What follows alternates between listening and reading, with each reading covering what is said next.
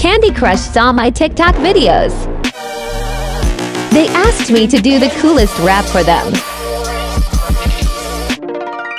So I decided to bring Candy Crush to real life. It turned out amazing.